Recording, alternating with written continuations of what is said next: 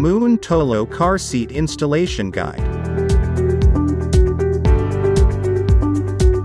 Take the car seat belt buckle and make sure the straps are not twisted. Cross the diagonal strap underneath the headrest. And cross the waist strap underneath the armrest. There are red markers to identify the locations of two openings on the back side of the car seat. Double check the seatbelt straps for twists in between.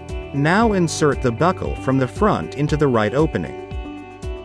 Bring it onto the left opening from behind and take it out towards the front.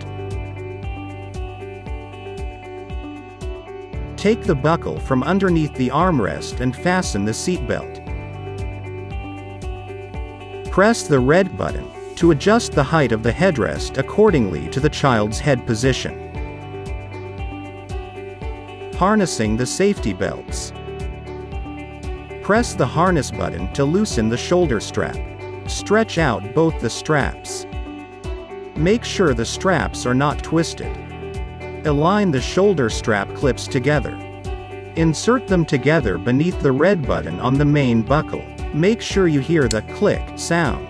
Readjust by pulling the adjustment strap. Converting to booster seat. The 5-point safety harness has to be removed in order to separate the booster seat. Turn the car seat sideways. Press the base and the main frame together. Flatten it and turn it around.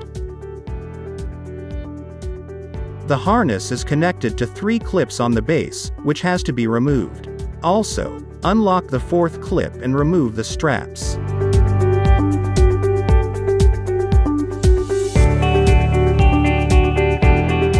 The booster seat gets separated from the main body.